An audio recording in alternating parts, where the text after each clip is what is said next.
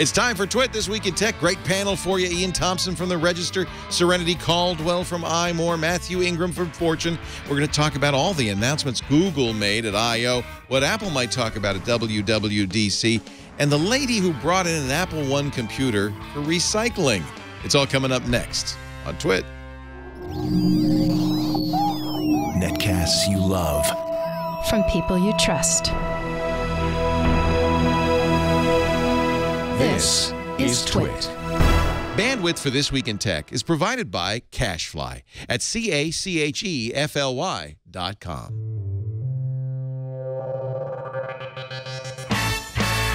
This is Twit, This Week in Tech, episode 512, recorded Sunday, May 31st, 2015, the Wombat Test. This Week in Tech is brought to you by Personal Capital. With Personal Capital, you get award-winning financial tools, unbiased advice, and a transparent view of all your investments. Best of all, it's free. To sign up, go to personalcapital.com slash twit. And by Gazelle, the fast and simple way to sell your used gadgets. Find out what your used iPhone, iPad, or other Apple product is worth at gazelle.com. And by Dropbox for Business. Dropbox for Business lets your team sync and share files just like Dropbox. And you can connect Dropbox for Business with over 300,000 apps for project management. Visit Dropbox.com slash twit for a free 14-day trial. That's Dropbox.com slash twit. And by Little Bits, the easy way to build electronics with modular building blocks. Go to littlebits.com slash twit, and you'll receive $20 off your first kit, plus free shipping in the U.S. It's time for Twit, This Week in Tech, the show where we cover the week's tech news. Proudly live and in living color, Iain Thomson is here from The Register. Good to see you. Good to see you too there. Uh, I should warn you that uh, he just tweeted on another This Week in Tech show. We'll try to keep it clean, but after a tough week, dot, dot, dot. Well, Has it know, been a tough week for you? You weren't at Google uh, Google I/O, were you? No. It was a tough week. All right. It really was a tough week. Oh, good. That and a bunch of other stuff, and it was, yeah. Would have, Saturday morning, it was just like right. Turned all the alarms off. Ah. I'm going to sleep in till 11 o'clock, and then at 8:30 rolled over into a puddle of cat vomit. So. you know, Oh, that is a do? tough week. I still have a scar. We have kittens. I have a scar on my back. You can't get sick from a kitty scratch, can you? Uh, wouldn't have There's thought. not like something called cat scratch fever or anything, is there? There is. okay, if you start biting during the show, I'm out of here. Sorry. also with us from uh, Fortune, I'm happy to say, formerly of GigaOM, the famous Mathew Ingram from, uh, you know, during the week you join us in your office, but today you're relaxed. Yeah, I'm at a friend's house actually. very nice. That looks very comfy. It is. Well, I want to thank you both for being here. I really appreciate that. Serenity Caldwell is stuck in traffic, but she'll be with us. Uh, she's in Boston, so stuck in traffic in Boston means she could be with us sometime in the next few weeks. but we'll, we'll, I'll let you know. I'll keep my eyes posted. we'll get her here uh, in a bit. You know, if you think you had a bad week, I got to think the product manager for Apple's Photos app had a bad week. Well, and everyone at Flickr as well. Yeah. Yeah. It's um, yeah, they. I kind of got the feeling Google oversold the photo thing, but it's certainly really interesting what they're doing with it. I don't know if they oversold it. Have you played with it? Uh, I have played with it, and then I took it immediately off my phone once I read the terms and conditions. Oh, So- terms, schmerms. what do they say? They own all our pictures? Yep, oh, much. who cares? That's pretty standard though. Yeah. right? Yeah, I know it's ass covering, but at the same time, it's just like right. I'm going to test this out in the office privately with a couple of photos I really couldn't give a monkeys about. So it's, uh, but yeah, I mean, it looks pretty good. It looks better than what Apple's got at the moment, certainly. And it's Um, ironic. it's the same name as what Apple Yeah, has. well, there's only so many things you can call pictures of people, so you know, I guess they're all going to use it. can't uh, cop- you know, can't trademark Apple- the word. Apple only has themselves to blame. Let's face it. I mean, this is a company with 800 billion dollars or something, and they haven't been able to figure out how to get a cloud service That's working true. properly. Their photo. Their photo thing has gone through multiple revisions, and it's like punching yourself in the face repeatedly every time you try to use it. It just makes me want to throw my computer out the window. I, uh, unlike you, Iain, uploaded every photo I've ever taken to this. Me too. Uh, I have well over uh, 39,000 photos on here now. And the categorization alone makes that worthwhile. So it did. Facial recognition is amazing. It did this. Yeah. It did this all. Here's my son Henry. Uh, it, it did. I didn't. s- I didn't. Maybe I'll I'll choose me instead. That's Good probably. boy, with your way. kids, Thank did it you. track them from childhood to adulthood with any with, any- with any mistakes? Uh, that's an interesting question because I notice Henry's here both as a child and Ah. as a 20 year old. Uh, but Abby is not here both as a child and 20 year old, and I have plenty of pictures of both. yeah. So uh, I, I, I, and then it's places, Mm-hmm. and then it's things, including cars, skylines, stadiums. Let's just see cats. Hmm. How how how many cat pictures? Lots of cat pictures. You do like your cats, don't Well, you? Well, they're new, and of course, you know the new the new thing gets all the pictures. Dogs, there were a few errors. It uh, categorized uh, uh, some cats as dogs. It categorized some stone lions as dogs. Uh, but it's, pr- I mean, this I didn't do anything. This I uploaded well, these to have got pictures. some stoned, but no. There's a there's a stone lion that thinks is a cat, a Oh, dog. Stone. I think you said Not stone, lions. Stone. What have you been doing to these creatures? But and there's three cat pictures that it thought were dogs, but you know Flickr's doing this too, right? And uh, obviously there was some massive breakthrough in artificial uh, intelligence and image recognition in the last few years because it seems like everybody does this now. But it's still incredibly useful that I that is not a, that is not a dog that is a lion shaped cat. uh, but yeah. but still, it's it is kind of amazing um, that they could go through f- almost forty thousand pictures of mine in less than a day, fully categorize them without any intervention on my part. And they've actually been doing this for a while. I know Flickr just came out with it recently, but I've had 50,000, 60,000 photos at Google Plus Photos, which is basically the same thing. And once I turned on Google's personal search, I could go to a Google search box and type in my photos of Caitlin, our oldest daughter, and it would pull up every photo I've ever taken. It's really amazing. I just typed in a search for Paris in the snow, and uh, let's see if it finds anything. I know I have pictures of Paris, and yes, it's snowy. You don't find that mind-boggling? No, no, I do. I think it's great. I just don't have that many photos that I want to put in the cloud. Um, call me Mr. I have them all Paranoid. there. I have them all there. Yeah, I did. to me, what is Google going to do? Sell my? You think, I mean, what do you what do you think they're going to do? Sell No, my I just I don't see any particular point to it. I back all my photos up onto a hard drive Right. once a month. I put them onto another hard drive and take that into work. So I've got dual backups on two, in two locations, and I leave it at that. I don't really access that many photos unless I know I'm going to look for, go need, need something specific. So as long as I've got copies at home and work, then you know I, I'm not really sold on sticking on the cloud. I'm glad. Uh, I'm really glad that I had uh, Google Plus auto photo backup turned on, so every photo I take on my phone automatically gets uploaded because my backpack got stolen when we were in Italy. So my la- laptop, iPad, um, and an external hard drive with every photo I've ever taken. So someone in Italy has all my photos. I'd much rather Google had them. Um, but so now I didn't have to worry about not having a laptop because all the photos that I own exists, you know, on Google servers. I can reach them wherever as long as I have an internet connection. Yeah, I think that theft is where I'm going to come a cropper with my approach because it, you know it's all well and good, but if somebody does half inch your backpack and runs off with it, you are a little bit stuffed. That's a good that's a g- good example of how it works well. But um, yeah, in Italy as well, it happens an awful lot. We just came back from there last summer, and an awful lot of people lost their bags. We were talking Yeah. to Trey Ratcliff yesterday. He had exactly the same thing happen But he as had a you, ton of hardware, He didn't had Leica lenses, Sony cameras. Oh, he that's lost. terrible.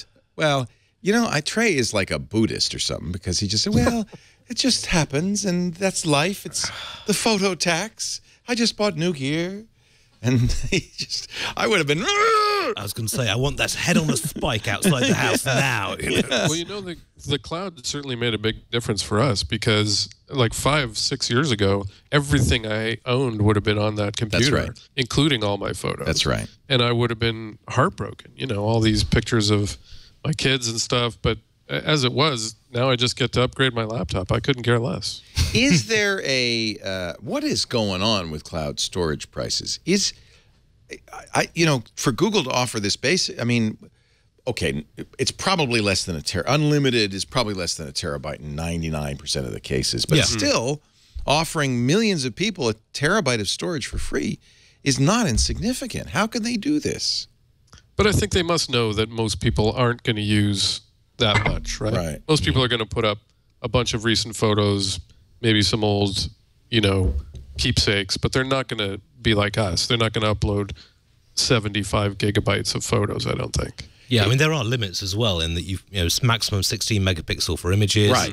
Maximum 1080p for for, For video, videos. and then when they put them on there, they compress them they compress them down and muck about with them. Yeah. So you can't stick raw files up on there. You can't stick. You can, files. but you'll pay for it. It's well, not if you pay raw. extra, yeah. I mean once your Google Drive allowance has gone up, then yeah, it's ten dollars a I month. I have a terabyte on Google Drive, so because I because I do too. Yeah, because of the Pixel. Yeah. So um, I get like 1.3. I'm I'm kind of a cloud backup. Uh, I'm, I'm sort of platform agnostic. Okay, go ahead. You use the word slut. You know you want to. yeah, or or or I'm I'm obsessed with redundancy, so I actually pay Amazon Yeah. and Dropbox and Google. Me and too. I have a terabyte. Yeah.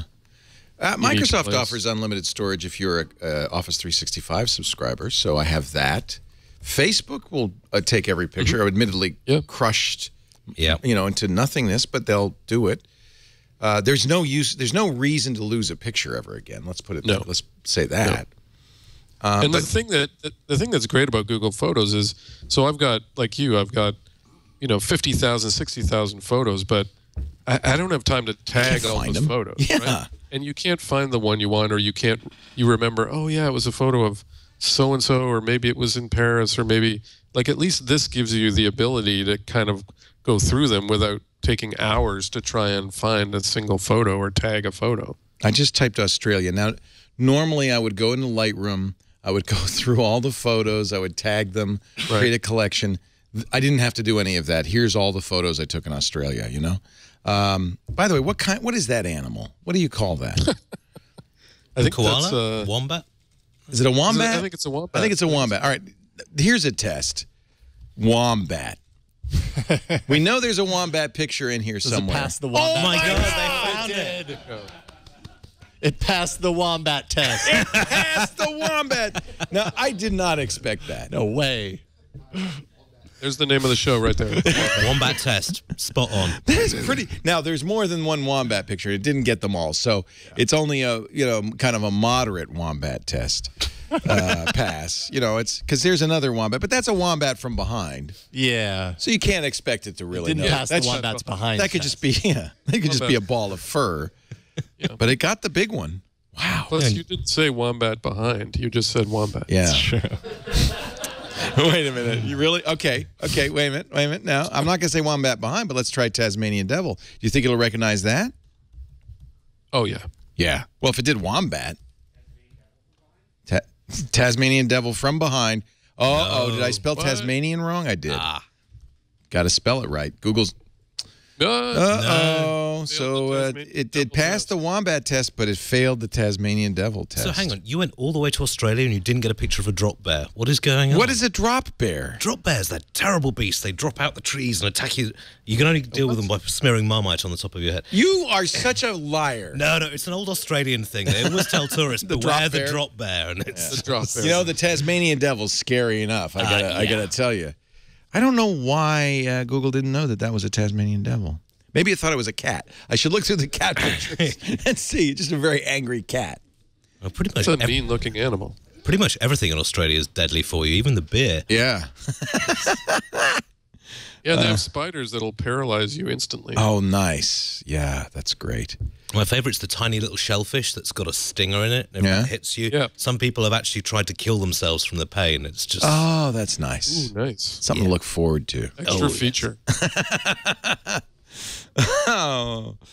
Uh, anyway, that was, uh, I think, from a consumer point of view, that was probably the big announcement of uh, Google Huge. I/O. Yep. Uh, and I want, you know, Apple's got WWDC coming up. Do you think that they they're kind of scrambling to try to respond to that? No, they don't care. I don't honestly think Apple gives a monkeys about Google. uh, about Google. I mean, the thing was also, I mean, photo is great, but they also announced Pay and the fingerprint sensing thing, which Apple was doing a Right. year ago. They're So playing catch up like- in other regards. Yeah. Yeah. it swings and roundabouts on that one. So It Google. is interesting though. Ben Thompson and I were talking on Twitter about how um, Apple, you know, devices are what they're all about, right? So services, in a way, are just a way to try and get people to buy and use their devices. And Google's the exact opposite. So it doesn't actually care about devices. Right. Devices are just a way to get people to use Google services, which it helps explain why Apple devices are so great and their services are terrible, hmm. and Google's services are great, but their devices aren't so good.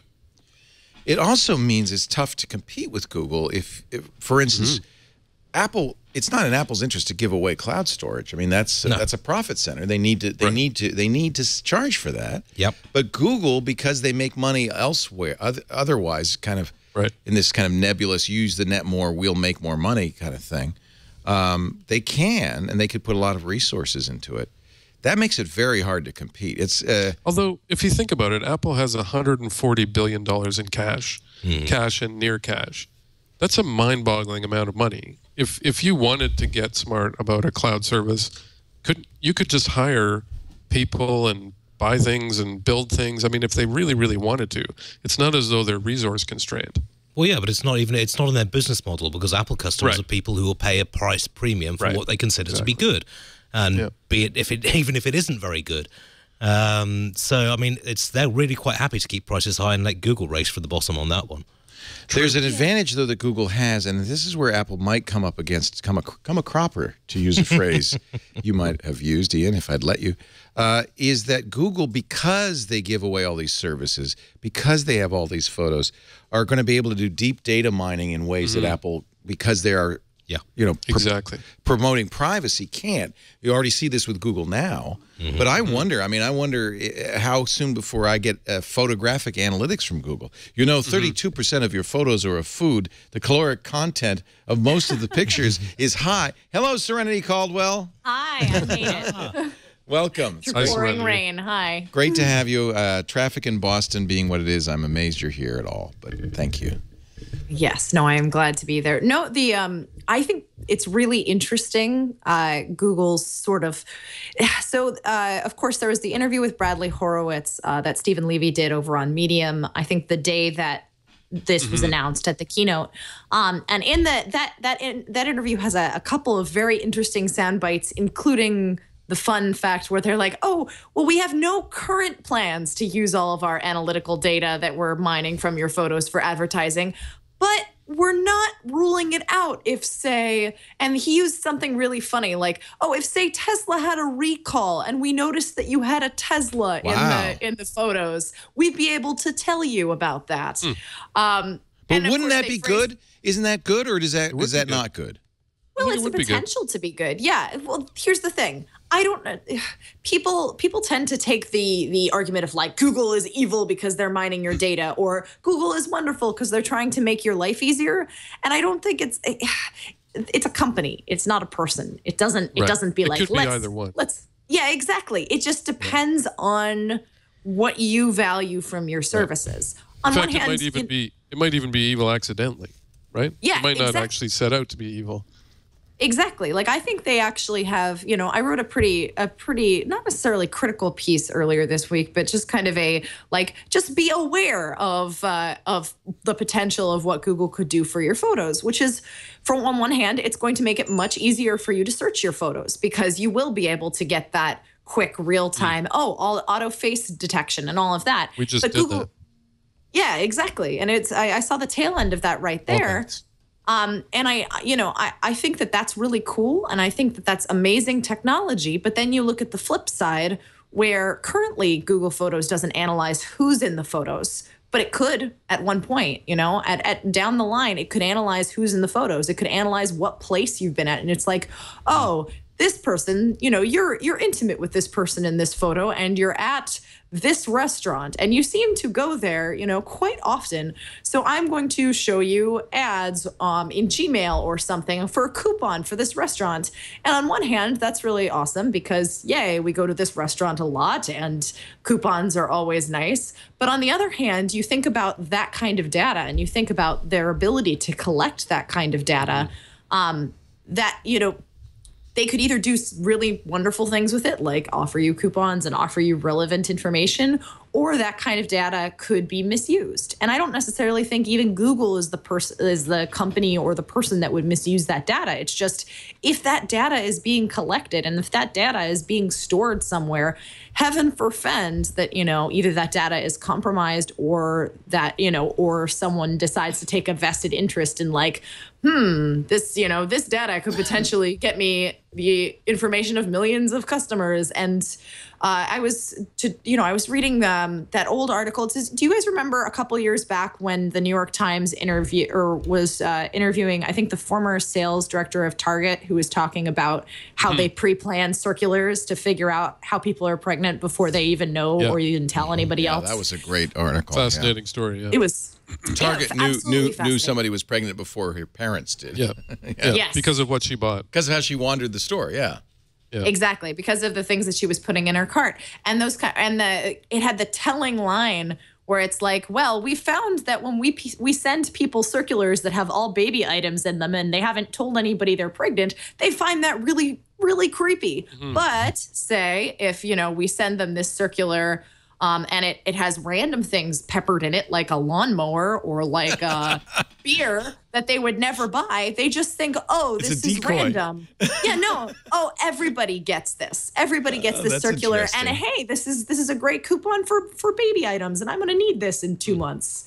But it's it's that kind of a thought, right? Where you know there's the there's the level of like how much data can we can we use that we've collected about you without you being like, okay, that's weird. Yeah. Um, I think yeah, Google and- is Google- doing face recognition because I just searched for my son's name, definitely Henry, and I was. I mean, I know it does face recognition, but I think it matches it to a name because then now I found all these pictures of Henry as both an adult and a kid.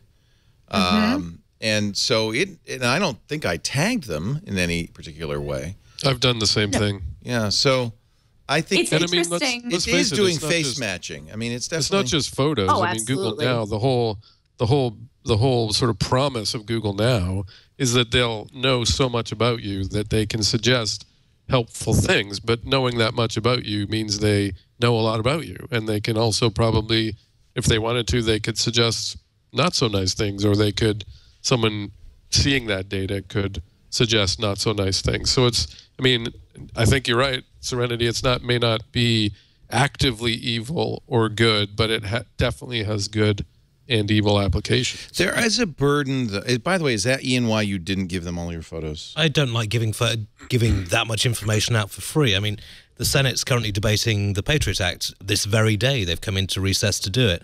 And I'm not that worried about Google, to be honest. I'm more worried about a lawful request from a new law that's been mm-hmm. passed that says, right, Right. we have the right to scoop all that Yes. data. Mm-hmm. And, uh, Exactly. you know, you, why make it easy for them? That's all I feel. I think though that there's a risk that well, I don't know. I see. I really like this, and I really want this, and I want Google now, and I would be thrilled if I had a Google pair of Google augmented reality glasses that would pop up people's names and reputation mm-hmm. scores as I walked around. This would be valuable to me, mm-hmm. and I think there's a risk that by overstating the risks, we could eliminate a really useful thing. I mean, we we you know, I guess there's always been a b- debate about new technologies. You know, jacquard looms. Uh, oh God, let's destroy those because it put us out of business. That debate's always happened. But I just I fear that we won't get some innovations that could be very valuable on balance because of of kind of a, a tenuous or a nebulous fear of something that isn't real, uh, a tech a techno a techno panic. Uh, yeah, I that's the worry. Sorry, go on, please. Go ahead. Oh yeah, no, I, I mean that that is the worry. That is the it's the frustrating balance between how Mm-hmm. much how much privacy can we potentially compromise at the at the extent of innovation. But also, I- you know, there's a burden. If you're going to say "what if," there's a burden on you to say how great that possibility is. I mean, it's very easy Oh, to say "what if." Yeah, I was going. To, I'm sorry. I, deal Yes. I, I deal with the security beat uh, an awful lot on the Security reg. Yeah. Yeah. and okay, two three years ago, uh, I was being called paranoid for suggesting some of the things I'd suggested were going on. And then when the Snowden leaks came out, we realized quite how deep down that hole we were.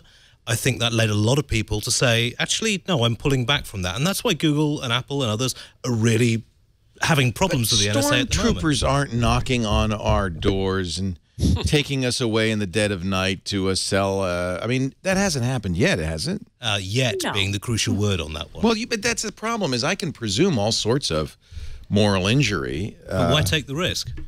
Yeah, because I get thing, great stuff out of it. Like I could type, you know, marmot and get wombats or whatever it is.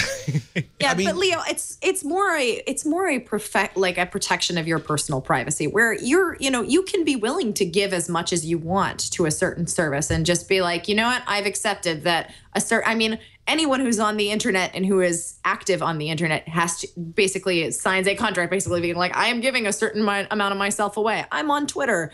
People might divulge where what cafes I'm at um, if they follow me intently and they really want to find out. Like if someone wants to find out where you live, they really they really will find out where you live. It's it's it's not that hard ultimately, but it's a question of like how much of this stuff am I voluntarily giving over at for for great things. Um, Well, and, I think it's how much you know, how much you know about what Google's going to do with it, right? Yes. Like it's how how much is Google disclosing about what they do with the data, what they could do with the data? Is it being anonymized? Is it you know uh, there has to be a certain amount of information that they give you so that you can make an informed choice about whether to do it or not. Yeah, and I did find it really interesting. Um, you know, at, something that Apple I think does really well in this sphere is that they make it very clear. All right, this is exactly what we're doing with your data when it gets uploaded to iCloud and all of that, and this is what we will never do with your data. Um, and that does come at a bit of a cost premium because they do charge for it rather than just making the services free with Google. But Google, I feel like, obfuscates that a lot. They've gotten better about it. Uh, but there's still, you know, when Google Photos came out, um, and I was looking at the splash page, you know, it's like this beautiful thing. Here are all of the magical things that it can do. And you cannot like the, the the terms and conditions, the privacy policy, you don't even have to like check a box to sign up for it. If you have a Google account, you are opted in to Google. you already Photos. checked that box, baby. You already- Yeah. Exactly. Long That's time already ago. Yours. That's already yours. And if you've uploaded any photos, those are our, to Google Plus's uh, photos thing. Those are already in Google But- Photos. but are you And there's no, there's no, there's just no obvious like, here's what we do with this. Here's what we mm-hmm. don't. And in fact, if it wasn't for that Bradley Horowitz interview, I would still be combing through Google's privacy policy, trying to figure out what specifically applied to photos versus what was applied to, say, Gmail. And I think it's really that's telling that he's that he's saying like oh this is going to be google photos is going to be gmail for your photos and i think gmail did a lot of wonderful things i do use gmail but there are also downsides of gmail you know we've we've discovered just how deep that rabbit that advertising rabbit hole goes When the feds come, are they going to haul away everybody who's Google, but everybody from Apple's going to be safe? I No, mean, no, not No, at all. no. I mean, but it's it's a question of uh, I, I think just taking a fundamental view about your privacy. And yes, as someone with a, a fairly poor memory, I want those glasses that will whisper in your ear who it is you're talking to. Yeah. You've forgotten their name. I want all that stuff. That's fine, but I'm not prepared to give up a certain amount f- to do that. I use Gmail every day. I use it for work and I use it for personal personal business. You know, I share stuff on Twitter. I share stuff on Facebook. But you've got to be aware of what you're sharing and why you're sharing it. it's just being aware i really think is that awareness is the key factor like if you I just know don't want what- Alex Jones to determine what kind of features I get in the internet, uh, because you know there are None people. of us want that, Leo. Well, No. no. some of us do want Nobody that. wants- They're in the chat room right now. so, so uh, Biscuit Dev says, Leo, you sound like a smoker with a craving for his ciggies. Yeah, I'm hooked. That's a British per- That's a British word, ciggies. I'm ready. I'm hooked. I acknowledge it. Um, well, you do have a choice. I mean, it's uh, Mm-hmm. so. Uh, I mean, and you even have the choice not to use the internet at all if you really Yeah, wanted to if be you private. yeah if you, you know- really want to be paranoid absolutely Well, yeah, But, but, then I you've got to go and live on a farm somewhere. You know, it's just. Yeah, exactly. actually, There's a friends line. If you don't want modern conveniences, you have to live on a farm or somewhere in- Yeah, at this point. disconnected. This is the this And I have is friends who won't who won't upload photos of their kids to Yeah. Facebook or to Google because they just don't want to take the risk of those photos, you know, going somewhere they don't and- want. and or I certainly don't begrudge them that. That's their absolute right. I wouldn't Mm-hmm. want to. I mean, there's nobody suggesting you have to do this. No. No, of course. And I, I, I mean, uh, go ahead. Oh, no. I'm just saying, uh, if you do it, you've got to be aware that Yes. you, of what you are doing I and what you're sharing. And if you're actually going to stick photos up on, I mean, I stick photos up on Facebook, on on Twitter, and that sort of thing. Yeah. But you've always got to have in the back of your mind, you're sharing this with everyone. Think Right. about what you're doing before you do it. You know, it, it's it's just some people don't feel strongly about it, and I respect that decision totally. But for me personally, it's just the way I roll. Yeah. Yeah, I think it's just about, especially the folks, you know, we, we talk about our tech savvy people. We also talk, you know, my parents who who are aware of tech and who use tech every day, but may not realize, oh, if I upload this photo this photo to Google Photos, even if I set it to private and I never share it with anyone, there is a small possibility that someone else may see that data or that data may get used for advertising. And it's just about people being aware, like Yeah. being able to tell the public, hey, this is what's, you know, this is what's going on, not fear mongering, not saying this is the worst thing ever and it's all going to, you know, be terrible, but just knowing this is a, you know, this is this is a thing. This is a thing. I'm just can saying I want I that choice totally- too. I don't want the lowest common denominator of privacy uh, or the highest common denominator of privacy to determine what I can do. And that's what I fear. I think if if you if you uh, if you have if everybody's rattling the cage, oh my god, we got to protect our privacy. And so there's well Google never uh, even though Google I'm sure has face recognition, they're never going to implement it because of people like you. Damn you. They will make it an think- op- they I, will- then I don't get Yeah, a choice, Austin. right? They will make it an option. The number of people like me compared to the total No, they- internet, internet that they can't make is an option. Tiny percentage. because then the people who will opt in will be all the stalkers and creeps, and so and they, they said they they said they deliberately didn't do it Yeah. with Google Glass because they were afraid of the repercussions. right. yeah. So that's Yeah, that's kind of of what I'm arguing is, gosh, you guys are you know the techno Amish out here are keeping us from living in the future because you guys want to live it in is the fair. past. I think it is fair to point out though that Google isn't just giving millions of people photo storage with terabytes of data bec out of the goodness right. of its heart. Yeah, well, right? that's I mean, kind of it my question. trying- They're a it? company. What is it Yeah. they get out of They're a company. They are bringing in that stuff, just like they're giving you voice recognition and and automatically recognizing your voicemails and so on because they want the data, and so that they can learn more about you and people like you, and and learn how to do things with that data that you are providing them. Yeah, like that Google now. content, is so that they great. can use it, not love. for bad reasons, but they're for their own reasons. Yeah, well, they, Yeah. I, I presume it has to do with advertising. advertising i do i certainly think is part of it um, Mm-hmm. In Google terms now. of google yeah well in terms of google as a company as a whole i mean if you look at all of google's goals going back to the the very origin of google i feel like their their goal from day one has been we want to not only understand humanity but we want to build the biggest database about humanity possible Right. because then we can learn things from it and then we can build really smart computers. And that's where the mm-hmm. super you know paranoid scary Skynet. people go off in skynet. Yeah exactly where it's like we are teaching computers so many things that you know if agi or asi ever gets flipped on this will be a very interesting interesting progression but um, in general I, I don't think that they're collecting the data solely for advertising i think they have a genuine interest in just we want to build a really cool database i mean they're nerds at heart right They- they want to they want to build a big picture At It's just that I/O, they said something I haven't heard sell him say in a while, which was the original mission of Google, which is to organize the world's information. They used Mm-hmm. that phrase at I/O. I hadn't heard that in a while from Google. They used it in the in the press conference over the over the photo app. They were saying Yeah. basically we want to organize your memories, and it does do a very good job of it. I think uh, Serenity, you're right in the terms of this database has obviously given them a big advantage in machine learning because photo dep- you know, depends on this. The whole Gmail advertising system depends on this, and they've obviously got way ahead of the pack when it comes to deep machine learning, and that's going to be really interesting and potentially useful. You may yet get especially glasses. things especially things like like google now they use that data to be able to recommend things to you to be able to understand your behavior to be able to say to leo you know there's some there's a new wombat calendar out. You might want to get it because we know you like wombats. Um, you know their their ability to offer other services that are useful like that is based on the data that they've built up over the last 10 years about you. I just, and I, I, am glad to give you and everybody else the choice to not participate. That's fine. Just please don't let your terror of technology keep me from getting some of the cool stuff I want. It's not terror, and you know, if, just as you are happy for me to do this, I'm happy for you to do your stuff as well. I'm giving them everything. and the number of people out there who are actually withholding information in this way is minimal. It's so small, it's Yeah. not going to hold up technology development. no i don't think so But actually, you made a point that, that I thought was interesting. It's not that Google might do something bad itself deliberately.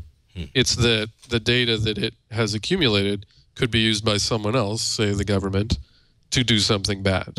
And Google would have no choice but to give up that information. Exactly. So it's not so much that they're going to do it.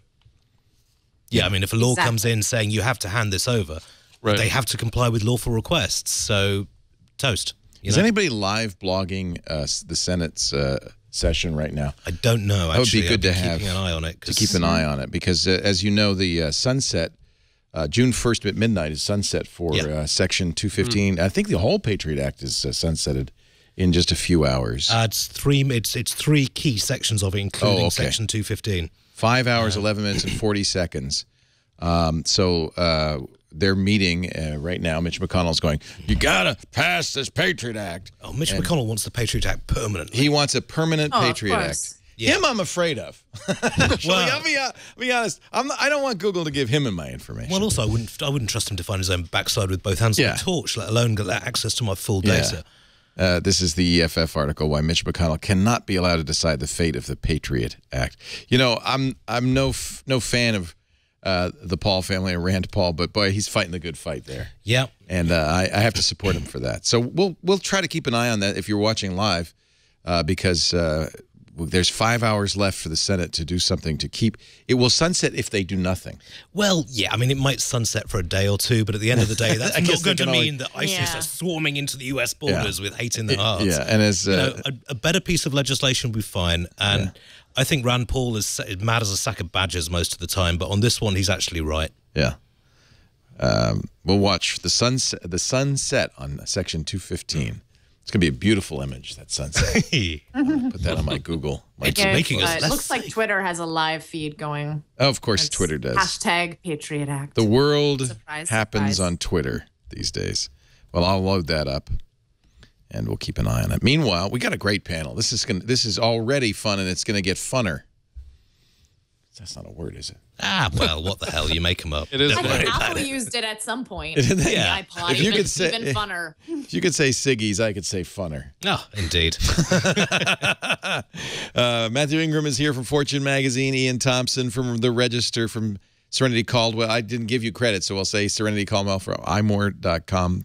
Wonderful panel of people talking about the week's news. We'll continue on in uh, just a moment. Our show today brought to you by Personal Capital.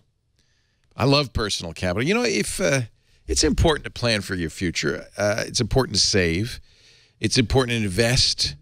But I think so many people just kind of stick that money somewhere and forget about it. Or worse, they're using a broker, but a broker who doesn't have their best interests at heart, a broker who's working on commission, who's pushing products on you because he'll make more money, or encouraging you to trade more because he makes money every time you trade. That's going to shave years off of your retirement. I don't want you to do that. I want you to try personal capital right now. Uh, personal capital is free. It's absolutely secure. They have mobile apps, as you can see, for iOS, for Android, for the Amazon Kindle store.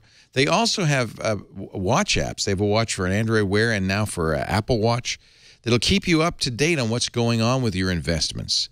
And their tools will help you plan for the future. This is all completely free. Open your free account, link your investment and bank accounts.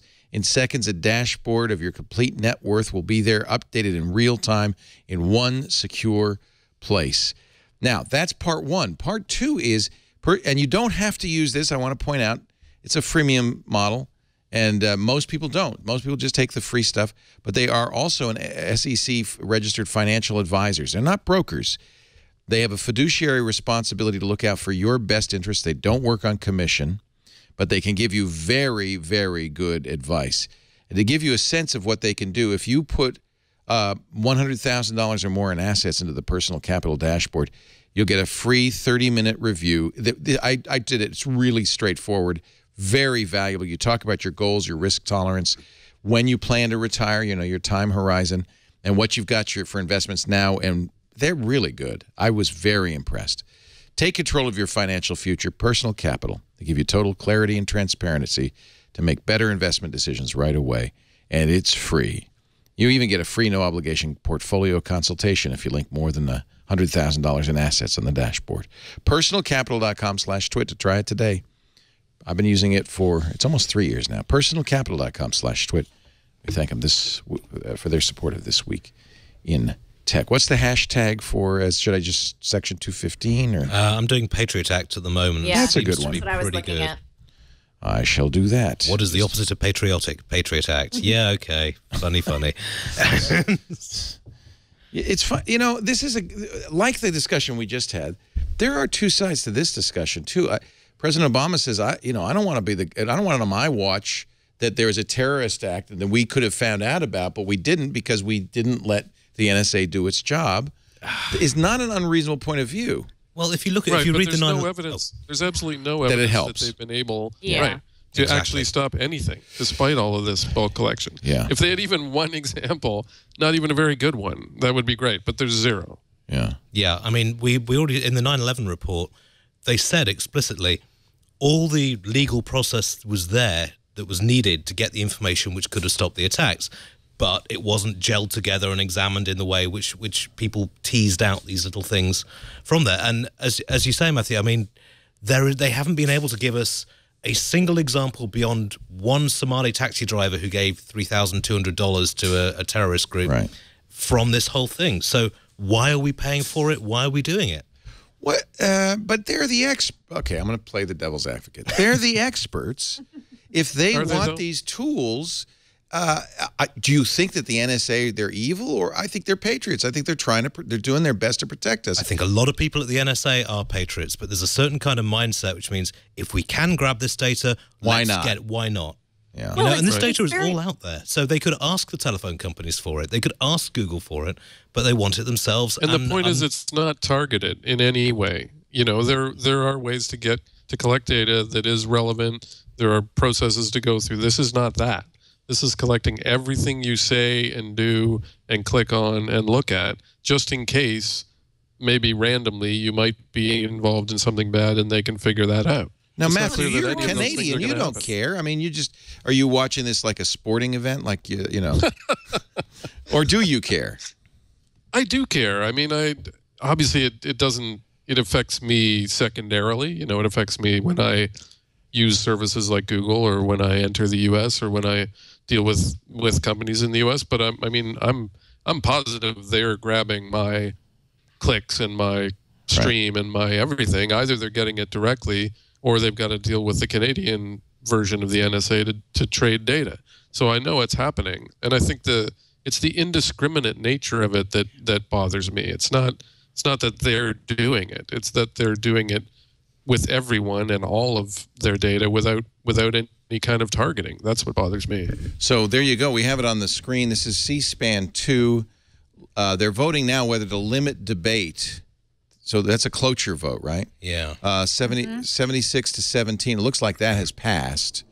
So cl- they've got cloture. They've ended debate on it. Uh, that means they will get at least to vote on a bill. Well, presumably they're going to be voting on USA Freedom. I mean, Mitch McConnell's got his own bill in Ah. which straight up reauthorizes Yeah. it, but Okay. USA Freedom is up for the vote. That's the one that was passed uh, in the House of Representatives, limiting the mass collection of phone data. Just a little bit. The Senate could not get uh, cloture. They couldn't get the supermajority needed to vote on it last time. No. They, as they reconvene, maybe that's what's going on right now. It's hard to hard to follow. They just look like they're standing there, which I, is mostly what arguments. I. Yeah, they just kind of stand there a lot, uh, and look around. Oh, governments. yeah. Mind you, we've got this problem in the UK at the moment. They're just about to put a Snoopers, char- a Snoopers charter through, and our new Prime Minister wants to ban all applications with encryption that can't be unlocked by the government. He also wants goody. to uh, to ban all. What is he? What, what was what did Cameron say that was? We talked about it last time you were here. It was so wild. Yeah, Was it- he's- was- Oh, sure he wants- he he wants basically you cannot use an encryption scheme in the UK that cannot be broken by uh, law No, enforcement. but he also said we should no longer tolerate free speech because Ah, yes, yes. What a delightful quote that was, coming from an old Etonian like himself. Yes, we've, we've perhaps been too open-minded in, Yeah, in let's our not be so open-minded, okay? Let's say, yeah, that's very easy for you to say, but you know, if you're part of the people who come to the UK from outside and who make up the UK mostly these days, that's a little insulting, just a little bit. Yeah. And I hope he's made to eat those words. You've got C fifty one uh, up up north. We sure do, yeah. Tell us about that. Well, it's trying to do something similar. I mean, C51 is is I'm trying to remember where it is exactly in the Um, but it, the fundamentally the the intent is the same to to do as much sort of monitoring as possible. Yeah. Um, it's you know anti-terrorism, so the the rationale is that we need to do these things in order to stop uh, terrorists. Um, but I, I think the you know the the risk in my mind is that you it's a little like the asking people to to give the police a key in case they want to come in and look around your house, just in case you're doing something bad. Um, will they do it? Maybe not. But in in a way, you give up a little bit of freedom each time you do that. In return for what? In Yeah. return for some theoretical potential benefit that you might get at some future point. Yeah, it feels to me a little bit like, say, you're in a relationship with a guy or with a girl who's like, you know, I love you. Let's, you know, we're we're we're such wonderful couple. Um, we should share each other's location data. You know, we should share each other's passwords.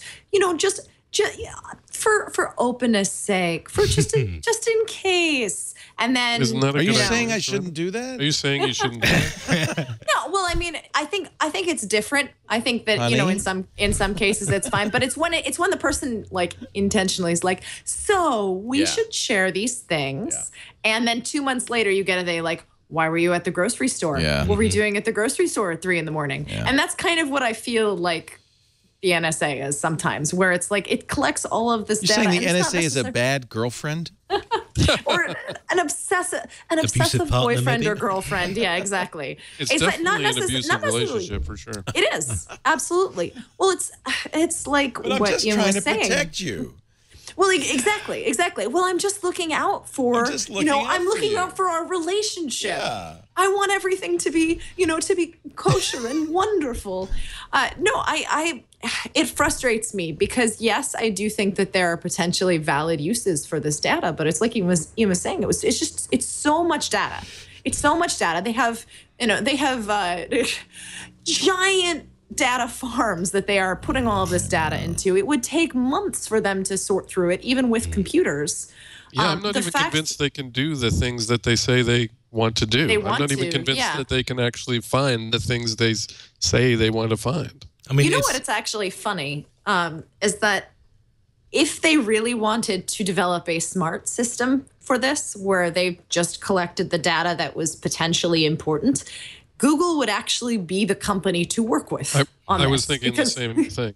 Yeah, but if the if if the headline U.S. government and Google working to or NSA and Google working together to create smart algorithm, the world would explode. But but you know they are the people with with the knowledge in this area. They are the they are the company that actually knows. Okay, we we did collect a bunch of data, and now we know how to create smart algorithms that you know target very specific sets of data.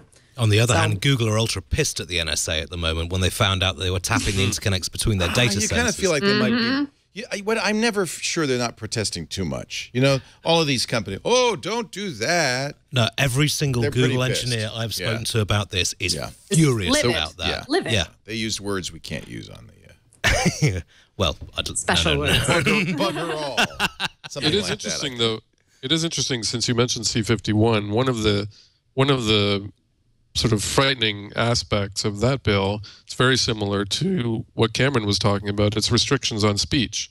So it's not just trying to track people who might do something bad. It's actually trying to restrict people's ability to say things that could be interpreted in bad ways. And I, just- think that's a, you know, that's a depressing sort of um, evolution of protection. I'm resisting being just kind of a paranoid crazy, paranoid anti-government crazy, uh, and going down that road uh, because I don't. I I, I kind. So is are we in actually perilous times, like more so than always, or is this just kind of the normal? Isn't it's always been this way, or is there something really to? Is this? Are we like? Germans in uh, Germany in 1938? Are we? I mean, what is what? What is? Give me some historical context. What's the rationale? You mean? Well, I'm just. I the- wonder. Is how serious of a How much threat is danger this? are we actually? How much actually- danger are we in? Well, I, I can say as a, as a foreigner who's come to this country seven years ago, things have moved in a more scary way Yeah, uh, than I they have in the with you. past. But the key concern is not you know what the government is now and what they're doing now. The fact is storage is cheap and storage is permanent.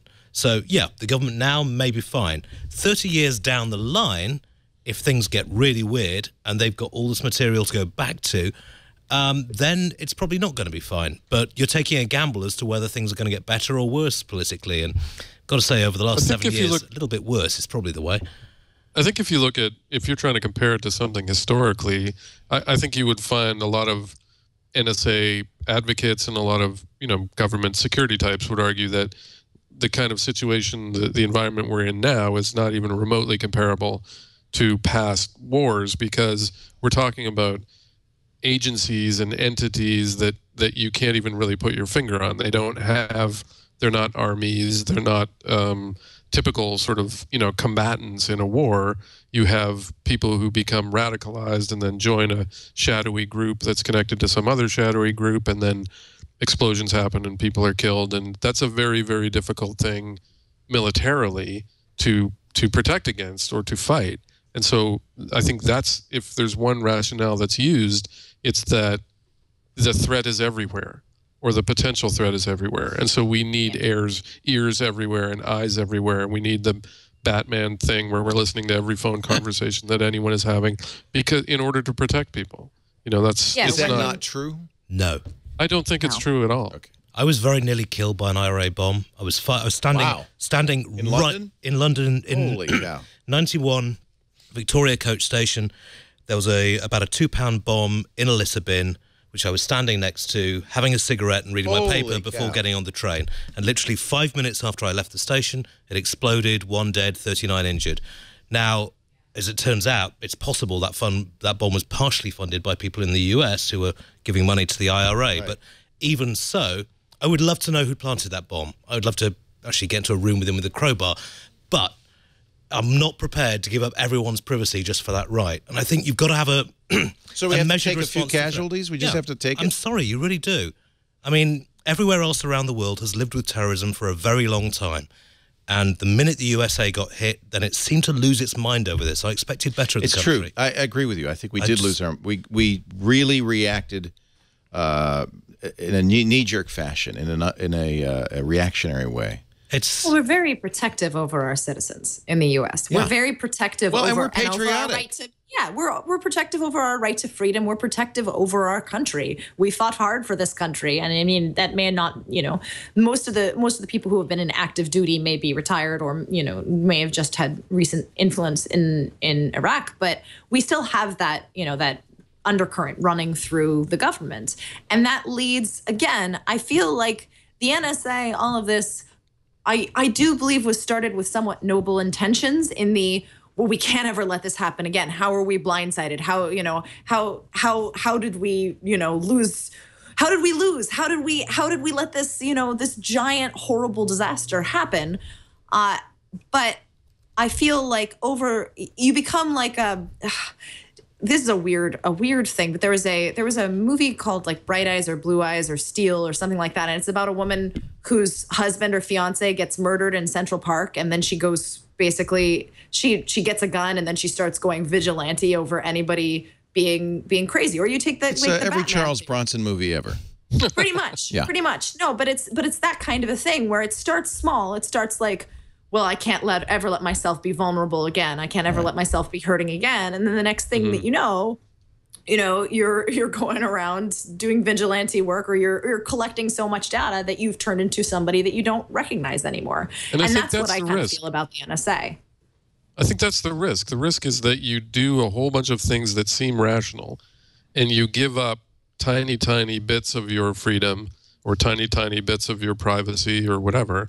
And but before you know it, you're you've slid down this slippery slope and you can't get back. And Well, you this- are in a place Yeah. that you don't like. Well, this is it. It never comes back. I mean, the, we're seeing the USA Freedom Act being debated at the moment. You remember, this is the very first piece of legislation which has sought to loosen the amount of surveillance that's going on since 1978. Now, the world has changed a lot since then, and we've had a, an awful lot of stuff coming up. But giving this stuff away is easy. Getting it back is really Exactly. tough. Impossible. Incredibly difficult. And when you're giving, you know, if you're giving a couple yards here and a couple yards there and a couple yards here, and then sooner or later you realize that you've given, you know, a couple thousand meters, and you're like, well, now that, you know, that starting line is way over there, and trying to inch back that way is a very, Yeah, very impossible. difficult. I realize I'm, I'm mixing metric and, And yet, that may be imperial right exactly now, what's happening right now on the floor of the United States Senate. The, that uh, the senators, having realized that we overreacted, that we went too far, are actually considering letting it expire. Isn't that a positive sign? It is It a is. positive It sign. definitely is. Yeah. It's just taken a bloody long time to get it done, and they're doing it in a very half-assed way, if you don't mind me saying so. I mean, well, and it- would they have would they have done that at all if it hadn't been Without for all Snowden? of the protests all Exactly. Exactly. Yeah, thank God for Snowden. I think uh, it's fair to say that he made a huge difference in this discussion. Absolutely. This. I mean, I don't uh, know if this would be going on right now. A black hat four years ago, I suggested to a, a former member of the FBI that maybe Echelon was being used to spy on European and US businesses, and he had an absolute fit at me. Yeah. And then Snowden comes out, and it's just like, ah, well, we were doing a little bit of that, but our reasons were good. And you're like, I'm sorry, you know, you've got to have a tight rein on these things, otherwise they can get out of control. So, uh, exactly. if nine out of 10 people can be good, honest patriots or people who really want to upload the law, if one person out of those, those 10, those 100, those 1,000 uh, who has access to that data is not honest or not trustworthy or, you know, has bad intentions, that makes that, that destroys the entire concept. Meanwhile, let's uh, look at some shiny new gadgets brought to us by the. Lightening the mood. Shiny. well, I do feel like we're a little bit distracted to death, aren't we? I mean, we- Ah, we've- there- we've- there's no accident that we have these incredible sp- bread and circuses, these uh, spectacles, these gadgets, these toys. Uh, it, it's very tempting just to relax and say it's okay because I have the newest Galaxy S6, and what could possibly go wrong here? And I Let's- can search all my photos. yeah. yeah. So we'll talk a little bit more about Google I/O. Uh, there's some Apple news too. WWDC is coming up. Uh, June 8th is well a little more than a week away. That should be a, a lot of fun. We'll be covering that live next week. Um, we could talk a little bit about uh, what's going on in media. We talked before the show. Uh, Mathew Ingram knows very well uh, how difficult it is for tech blogs to succeed these days. Uh, Is it was there another casualty this week, or uh, is it all good? Is it all wonderful? And a life sentence for Ross Ulbricht is uh, it, that's I don't know what to say about that, but that's fascinating. We're going to take a break, come back and talk more about that. We had a good week this week on Twit. Uh, you- do you have a promo ready? Because I, I would just like you to watch this and see what you missed. Previously on Twit. That doesn't look at all dorky. yeah. You look like Bender. Twit live specials. That's Jump, an open camera design with a fully integrated version from GoPro, an assembler that turns raw footage into VR video with it. That looks seamless. That's amazing. Oh, Tech news today. The IRS got hacked. America's tax collection agency, the Internal Revenue Service, disclosed yesterday that hackers gained access to the personal information of more than 100,000 U.S. taxpayers. The main thing that that hack that people suspect that these hackers are going to do with this information is use it to file fraudulent tax returns. The new screensavers. Jim Cutler, our great voiceover guru. I'm the guy that goes, netcast you love. The chat room wants to know Are you a Fremen? Do you use the spice? I love Fremen. I love it under my arm. Before you buy. Lighter than air. It's the new Apple MacBook. I don't need another MacBook, but gosh, for traveling, for getting around, this thing is gorgeous, and I love the gold. Twit. Now also available in several colors of unapologetic plastic. We like we prefer to call it fluoroelastomer. Thank you very much. That's Jim Oh, I have a Cutler. couple of that. Yes. I- you know, can you do an intervention on Rene Ritchie? How many bands has Rene bought now?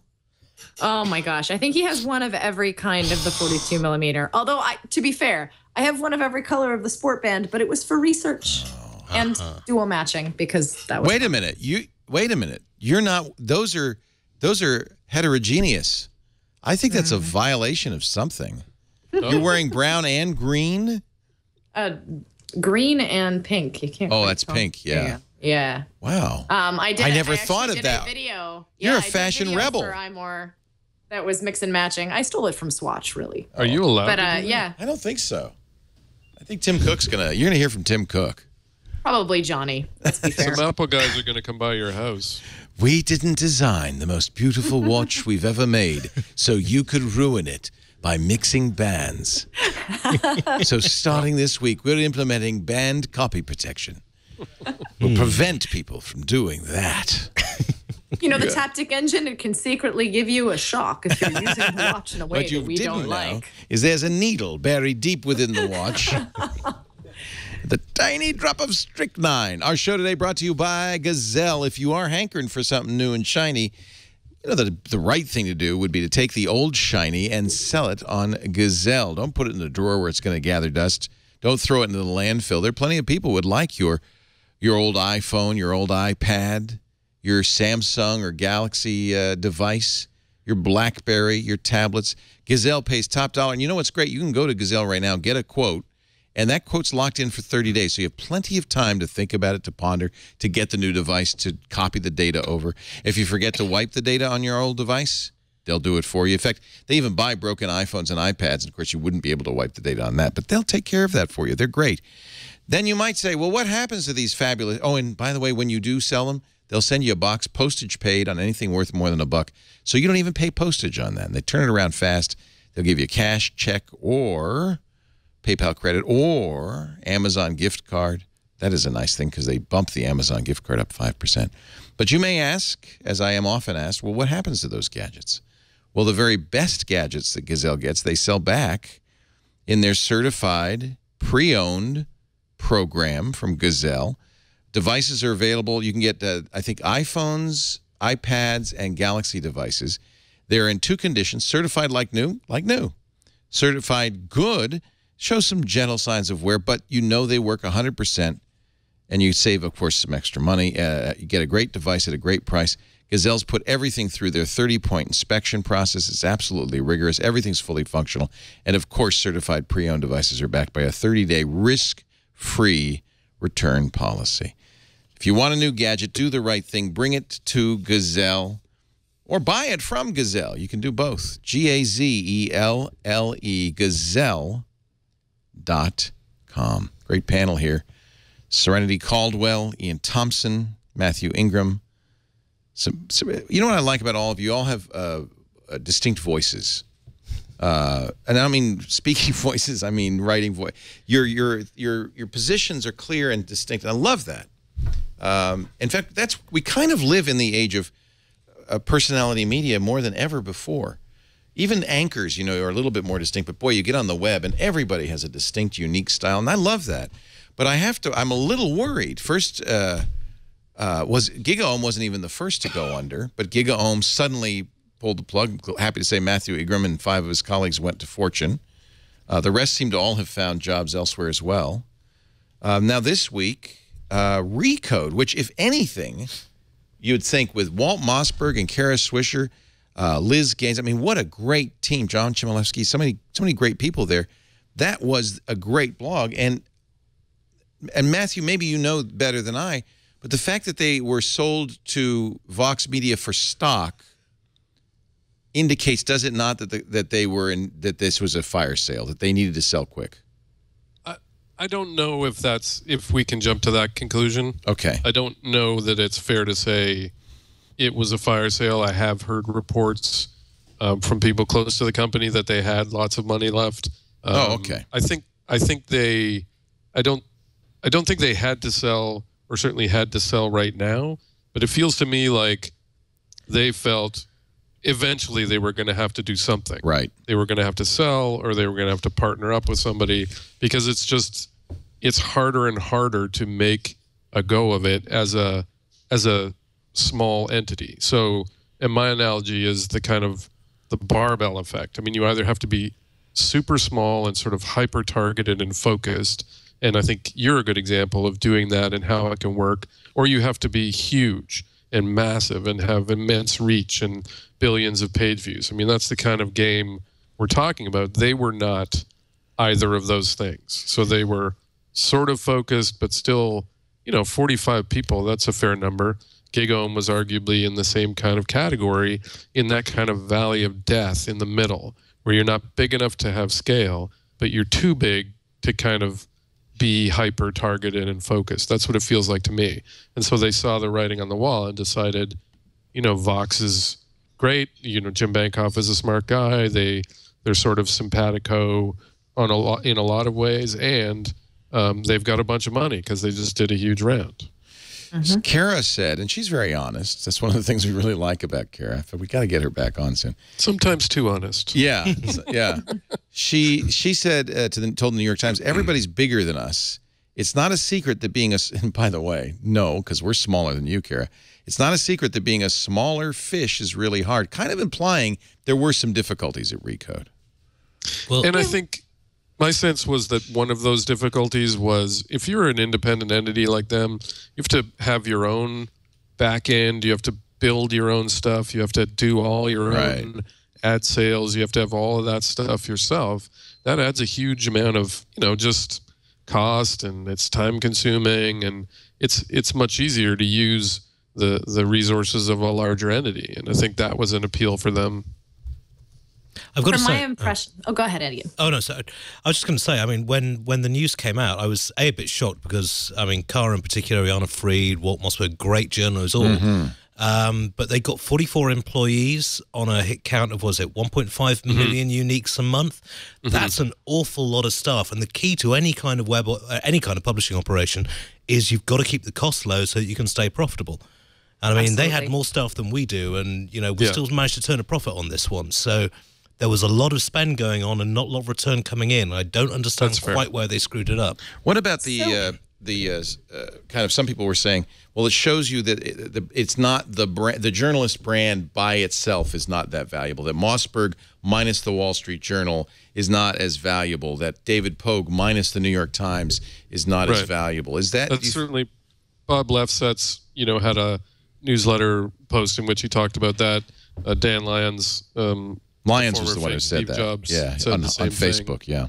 um, they were both basically making the same point, which is it's not enough to just be a star. You have to be associated with a big entity in some way. Um, you know, Bob compared it to uh, musicians try and go out on their own and do their own albums, and it's just a lot of work. And so, See, I, th- I think you can do it. I mean, there's certainly examples of people who have done it. John Gruber is a great example of someone who's been able to, But to he's make that one work guy. on his own. well, that's Right, the that's one the guy, and that's example there. important. Yeah. That's, That's the problem. right? Yeah, a single you- guy. Even Andrew Sullivan, you could argue, um, He didn't make it. He shut brand. up. He he shut But- down. But but he also he had eight or nine or ten people. Yeah. Um, that's a, a large amount of costs. Um, if it had been him and you know one other person, uh, Ben Thompson, who does Stratechery, runs the whole thing from his house um, in Taipei. And so for him, getting three thousand people to pay hundred dollars a year, boom, he's, you know, that's a great business for him. Um, but it, that wasn't what Walt and Kara were trying to do. They were trying to build, and it isn't what GigaOM was trying to do, rightly or wrongly. They were trying to build something large, and in order to build something large, that game has changed a lot. Like you have to be larger than large. You know, BuzzFeed's getting 200 million page views or, or unique visitors or something. That's not a game that you can play without a lot of money. No, I, I really feel it falls. It starts falling into two camps. Where previously, if you wanted to have a big website and you wanted to have a lot of a lot of uh, following and a lot of page views, you would throw a little bit of money at it. You would get a couple of you know crack talent, and then just keep on shoving people into the machine and being like, all right, the more content we turn out, the more page views we're going to get. Right, right. Um, and it used to be that that web companies didn't feel like they had to pay that much money for it. And now that the web has become more competitive, they they see that and they're like, oh, well, if we're going to launch a new website, we need to pour in millions and millions of dollars to make sure that we launch. Uh, think about the Daily is a great example of this. The Daily launched with a you know with two offices and a bunch of staff and a huge video team, and they they launched huge at scale. And, and Rupert Murdoch's money. Yeah, and we're, well, but exactly, they they launched with they they they launched with Murdoch's backing. They hired and in order 100 to do journalists. that, $60 Yeah. million And, and one year later, Yeah. All went toast. Well, because ultimately, ultimately, I feel like the model of throwing a bunch of money at the wall and then just being like, with a hundred monkeys typing in a hundred typewriters, we will have internet gold. it doesn't quite work like that anymore. It really That's why doesn't. You know? I, I, I've started this discussion with the word voices. Unique, per, strong personal voices seem very important. But the structure of And I think you journalism doesn't. Sorry, the structure of journalism doesn't really doesn't really benefit that as much as it used to. Back in the old days of print, if you got an exclusive, the only place you could read it was on your newspaper Yeah, or news site true. the next day. Right now, when Recode or when GigaOM or anyone else breaks a big story, yeah, you'll get the highly cited tag that no one reads on the Google News rankings that brings in, you know, a quarter of your readership. But at the same time, everyone and his dog will write a quick précis. If you're lucky, they'll link into you. So there's no real benefit, you know, and it's just the journalism which gets in the hits and the actual. And I think that's Mm. I think that's why the hardest model of all is to do news, even if it is tech news or even if it's something else news. It's going to be out there. Is your It's a- version of that news going to be really dramatic? It's a commodity, is what you're saying. Right. It's a commoditized And so that- product. What does seem to work, and certainly what worked for Andrew Sullivan, raised you know almost a million dollars. Um, ben Thompson and Stratechery can seem to be able to make this work. It's analysis. Ben is not doing news, right? He's telling people what to think about all the news that has been flowing over them for the past whatever 24 48 hours what is important what matters This is What's- the analogous, actually, picture?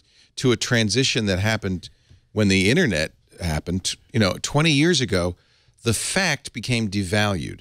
In pre-internet, going to the library and ascertaining a fact took some labor. And, ha- and that gave that fact some value. What did we teach kids in school? To memorize facts. There was some value. It's completely devalued now. If you want to know when somebody was born, it's three seconds away, thanks to Google. Right. But what is not what has not become devalued, in fact, what has gained value in the devaluation of the fact is curation, uh, analysis, context, all of the things that a human brain can add to fact. Uh, and that's so. This is just a special example of that. Right. And I think it's also it's not just like you said the voices. It's not just it's it's trust. I think that's uh, Craig Newmark says trust is the new black and I think in a lot of ways he's right. The it's not you can get any amount of information you want about anything more than you could ever want so quickly. Yeah. You want someone that you trust to say don't pay attention to any of that. Pay attention to this. That's or kind this of- is the important thing. Or That this was- is Someone what you need to reliable, know. That was the insight that created Twit 10 years ago was, uh, well, I'm not going to get in the business of reporting because that's commoditized. And what am I going to do that's going to be any different than tw- than 100 better reporters on the ground in Silicon Valley? But what we can add is trustworthy analysis and understanding and context. And and I have to say, personality is a very big part of that, too. Well, yeah, I Sure. mean- sure it is. I mean, publications can differentiate themselves on a news perspective in the way they approach the news, certainly. I mean, if you want sort of a straight read, go to AP. If you want Right. something with, with a bit of character, go somewhere else. As long as the basic facts are right and the ba- you know and the approach is right, that's fine. I mean, but what worried me, I mean, less worried about Recode. I was more worried about GigaOM because you had a bunch of mm-hmm. really good journalists there. You, you guys are too smart. And yeah, and it just for some reason it didn't work, and they pulled the funding out Well, of it. It was well too and i would say and i would say if there was a mistake and i don't you know i wasn't involved in the business side i didn't i don't have the details about th- those aspects but what it feels like to me is that GigaOM tried to get too big too quickly and that sort of that opened up a gap obviously a financial gap um, and i i don't feel like recode was there but I think they certainly could have gotten there. If you want to be a certain size or you're trying to get to a certain size, but that doesn't match up with what you're bringing in, eventually you're just gonna, you know, you're gonna run out of rope. Um, You're gonna burn, And that's, yeah. yeah. I think No, that's kind I- of. um, sorry, go on. No, I was just going to say. I mean, we ran into the same thing at IDG with MacWorld and TechHive and Mm-hmm. and PC World, where it's just at a certain point you can't you you can't run old media business on new media. You can't say I want a staff of 40 to 100 reporters who are full time with benefits and everything else, which is not to say that people shouldn't be full time, but that you figure out okay, how many full time people can we make, can we reasonably pay and do excellent reporting who are all smart, wonderful, you know, talented Right. people? Mm-hmm. Now let's let's run the site with the bare minimum of that running reasonable hours, see what we can do, and then when there is improvement, build upon that. The problem is is that the big companies or the companies that are used to, you know, are used to old media, are you, you know, companies like IDG for example, they look at, oh, well, you know, the news like in order for us to get page views quickly so that we can pay off our advertising and all of that, we need all of the content. In order to have all of the content, we need writers. And in order to have writers, we have to have a huge staff. And we need to make sure that everybody's talking to each other. So we're going to get a big office and it has to be in New York or San Francisco Mhm. because that's where all the news is. And it's like, this is the internet. This is the age of instant communication. You don't need to be in San Mm. Yeah. Francisco or New York anymore. it helps. That's a great point. But- and I think yeah. and I think for entities like the New York Times or the Washington Post or or any sort of large magazine or I mean Jesus 14 Fortune and Time Inc are facing the same problem. You there's this feeling that you have to figure out how to support the cost base that you have. So we have all these reporters and we have all these offices and we have all this stuff. We need to find out a way to pay for that digitally. But that's the wrong way of looking at the problem. You you you you can't find a way to support that old cost structure because the model you used, hmm. print advertising, is going away. And the and what's replacing it is is ten times smaller. You know, it's an order of magnitude smaller. So you can't just say, well, we need to find a way to replace you have to rethink the whole way you do what you do and the whole structure that you've built up over time because it's not it doesn't make financial sense anymore. Just makes me feel damn lucky. That's all I can say. I don't, I don't know how we're surviving. Well, I think with a digital publication, small. everyone has to do, everyone has to work. You can't afford to have large accounts departments or human resources departments. Everyone's got to either write, sell, manage, or edit, Yeah. and it's as and I think as you that. have to be you have to be very focused about what you want to do, right? You can't just say, "Well, we just we want to be a really great site with lots of news about stuff." Like I think you just We have wanna to be do very, everything. very yeah, you have to be very very focused because the days of sort of a mass media entity where and you went to that entity to get everything from sports to business to to gardening columns to comics to whatever that's just gone and it's not going to come back it doesn't matter how good you are and so Google if ruined you, it. yeah Google you- ruins everything. That's the damn it. That's the plot line of this show. No, no, it's entirely true though. You know, uh, what Mathew is saying is, the is 100% you know what? correct. If there weren't Google, somebody else would have come along. But Oh, the, It was the internet that ruined just- everything. right and the internet removes inefficiency and you know what human beings are Damn hugely inefficient so how do you make things more efficient you remove the human beings and so if you can remove human beings from your By the process way, that's what's happened structure- to GigaOM. Don't you think they've removed the humans? And now the brand Right. was bought by Knowingly, which is a, what they call a demand media company, which basically That's a is polite term for it. yeah. machine generated stories that are clickbait. That's kind of removing the humans, isn't it?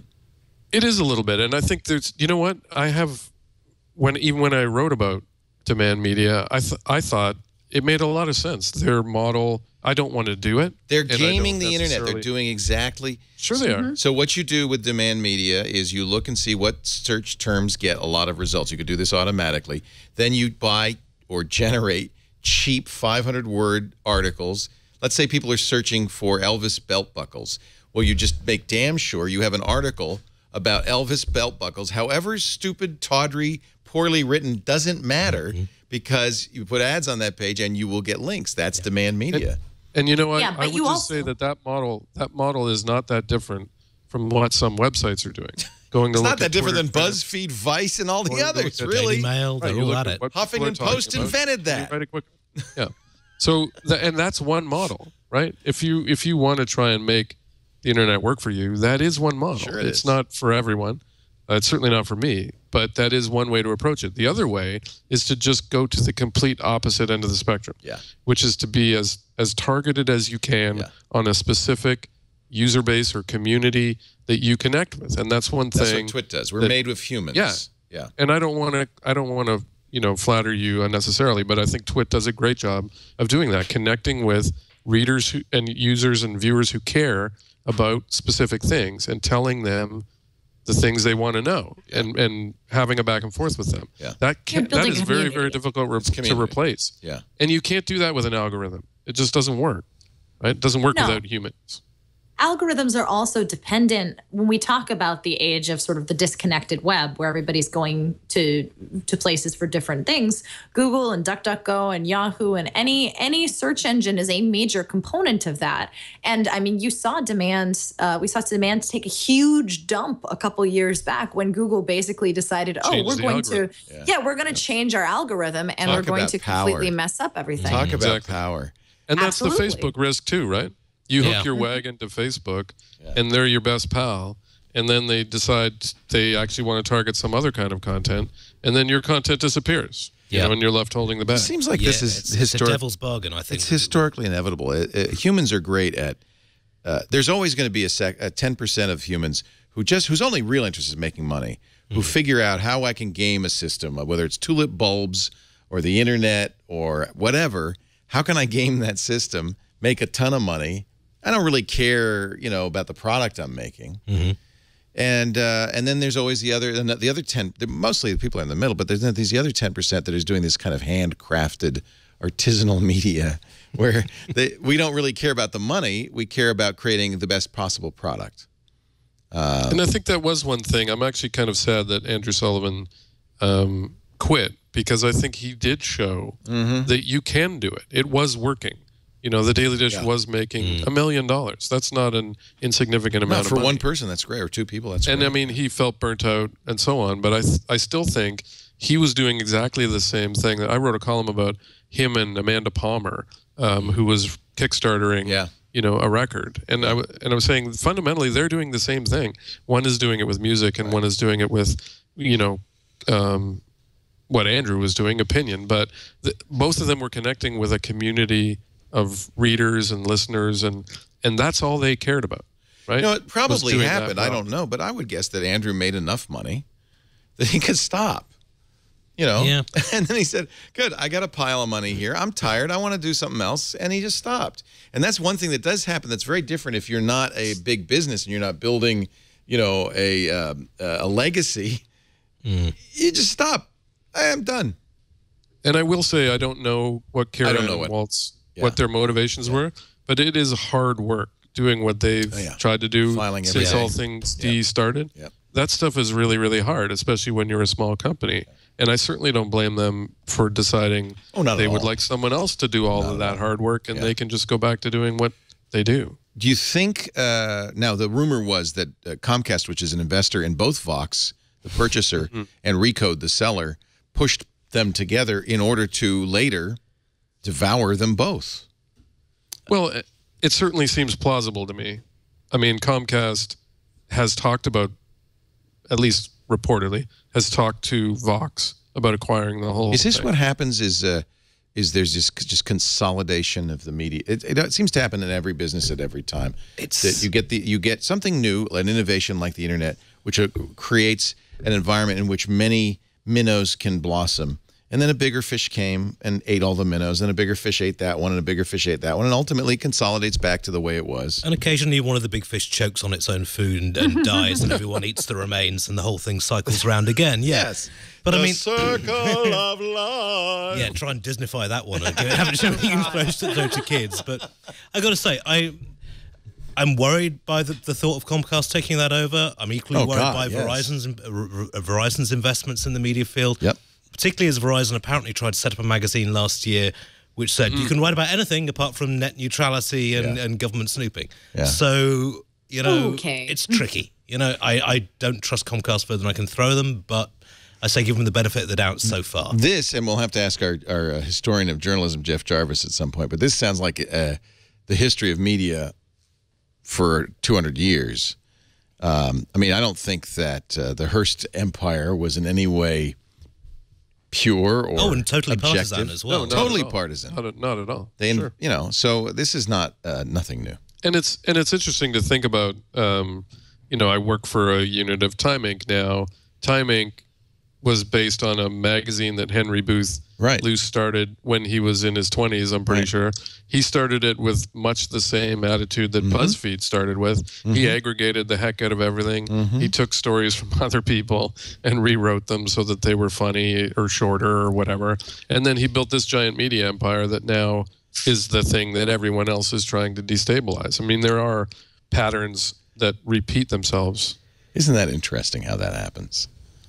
We're going to take a break. We're going to pack. Well, I do want to talk a little bit. We, we you saw a picture of the uh, uh, the Google um, uh, giant 16 camera virtual reality array. We heard a lot about cardboard. I want to talk a little bit about. Get back to the shiny stuff in uh, just a second. Um, but uh, you know, I, what I love is having a panel of smart people, and we could talk. And this is one thing you can't do on mainstream media. No. For 15, 20 minutes on a completely philosophical subject that no one cares about. That's twit. Uh, Hey, you got enough people watching at the moment that somebody statement. cares. That's our mission statement. We talk about uh, obsessively about stuff you couldn't care less about. our show today brought to you by Dropbox for Business. If you're in business, you know your employees are using Dropbox. We did a little survey. It was so funny. Everybody in the office is using their personal Dropbox account to share stuff, to work together, to collaborate, which is great. I'm not knocking it. They love Dropbox. It works great for them. But I was thrilled when we could sign up for Dropbox for Business and kind of get that all consolidated. It's the same experience, the same UI our employees already love. We don't have to train them. We don't have to persuade them to use it. They say, oh, yeah, yeah, great. And they each get a terabyte of data. So they go, oh, you know, I don't have to pay for it. Yeah. Uh, but as the employer, you control it. The IT professionals have admin controls like remote wipe. Somebody leaves the company, they don't leave with all your goodies. Um, I saw that uh, who was it was uh, suing. Um, was it? Uh, it was uh, Jawbone suing. Oh, Uh, Fitbit. Fitbit, Yeah. Fitbit, because yeah. Fitbit was hiring away employees, and they'd say, "Hey, before you leave, could you just put a thumb drive in the computer and download all the data, bring it along with you?" Oh, sure, no problem. they like wearing orange if they're doing that. So this is beautiful. You, you have control. Remote wipe, you'd get great sharing and permission controls, complete audit logs.